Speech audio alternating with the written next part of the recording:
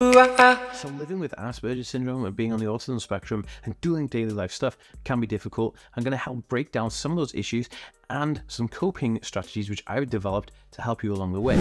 Hey guys, welcome back to the Aspie World. My name is Dan. I have autism ADHD and I make videos on this every single week. So if you're new around here and you want to learn more, remember to hit the subscribe button here on YouTube and follow this page on Facebook, Instagram and TikTok. Guys, what is going on?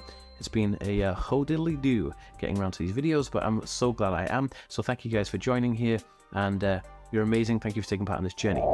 So Asperger's syndrome is an old kind of nomenclature for diagnosis. Like Asperger's syndrome stopped typically being diagnosed in the UK in 2013 and was replaced with autism spectrum disorder or ASD. And since then, not a lot of people use Asperger's as a term, but it's still diagnosed around the world and it's still a term that a lot of people identify with. So we have to take into account and accommodate for those people. So living with Asperger's syndrome, which is what I was originally diagnosed with, Asperger's syndrome and ADHD, can have profound effect on your ability to understand communication. One of the main issues for me would be uh, when someone would say something to me verbally, I'd kind of not really understand the instruction. Or if someone said to me, hey Dan, can you go this, this, this, and this, and go this way and give me directions verbally, kind of get a bit like, whoa, like it was a bit far out. It was a bit too much for me to understand. And because of that, it kind of made me, you know, less likely to get a job in certain places because I wasn't able to communicate on the level that they wanted. Even though I was highly able to do the work and I can communicate, I just needed a different format. Now, this comes down to how you communicate basically i then told my boss in work that they if they wanted anything from me to put it in bullet points and email it to me and with my friends and my girlfriend, I said, look, if you want something, you know, to be really um, impactful in, in my mind and stay there, send me a text message with emojis in it or a text message of what you need, and then I will understand that a bit more because then I've got time to process it and typically sit down and understand it. It's all about finding the way to communicate that you're happy with. I mean, it could just be as simple as sitting down playing video games and having a discussion at the end of the night because your mind is occupied in the video game and then you'll be able to have a discussion with your partner or your friends or whatever. That is how you can try and overcome some of the issues. They're never going to go away, but some of the issues with communication for people on the autism spectrum. Now, the next thing we're going to talk about is short-term memory loss. Asperger's has with it short-term memory loss. So people on the autism spectrum will have short-term memory loss, but long-term memory gain. So have a great long-term memory, but really bad short-term memory. To be like, Dan, you know, people say to me, Dan, go in the kitchen and get me some milk. I'll walk through the door and I'll be like, okay, I have no idea what I'm doing. I've forgotten already.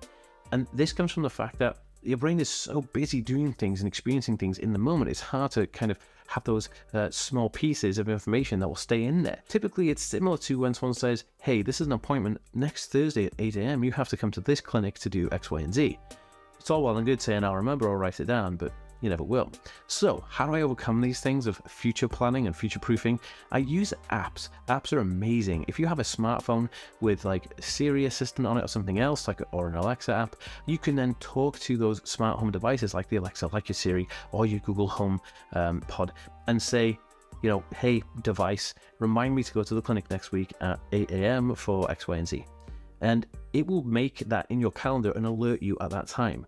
This type of tech, smart home technology tech, as well as voice first technology, which is basically like the Siri Assistant and, Alexa, these have changed the game. So now you don't have to kind of write something down because maybe you're dyslexic, maybe you cannot write, you know, um, or maybe you're forgetful. So you're going to try and write it down. And by the time you've written a line, like me, you'll forget. So when you get the digital assistant to sort that out for you, it changes the game and your life becomes so much more productive. My life has changed just crazy good, crazy good. Okay, so the next one is like shopping and, and doing life skills. Now, people on the autism spectrum will be uh, typically diagnosed with Asperger's syndrome, will be maybe as independent as they possibly can be, where they may own a house or a flat, or um, you know they'll go do their own shopping and hang out with friends, do all those things. But if you take all those things and put them down into small pieces, like doing the laundry and stuff, these are all executive function issues, which can be mega issues for people on the spectrum. So learning how to you know, do your washing and do your laundry, learning how to go out and do the shop and make a list of all the things you need in your house. One of the ways in which I found to do this is to learn how the washing machine works, but then take a video of you actually using it once with somebody who's showing you how to use it, or find a video instruction of how to use your specific washing machine and then keep that on hand to use every time you want to use the washing machine. Another one is when if you're out and about and you're going to go shopping and you want to make a shopping list, you can get a piece of paper and draw the picture of the thing you want, like apples or milk or whatever draw a little symbol because those symbols are going to make you remember what you need to get when you're out and you'll visually be able to see it. And people on the autism spectrum are more visual learners or visual thinkers. The same thing, I'd use emojis on, an emo- uh, on, on a notes app, or I'd use an app called Bring, which is an app that's made specifically for shopping lists. And you can sync that with your Alexa as well, but it also adds a small kind of cartoon graphic to the item that you need to purchase from the store. They are lifesavers, and those three things alone will set you up for the best chance you can. Guys, if you haven't already downloaded my Autism Life Hacks PDF book, you can at autismhacks.net. I'll see you in the next video, guys. Peace.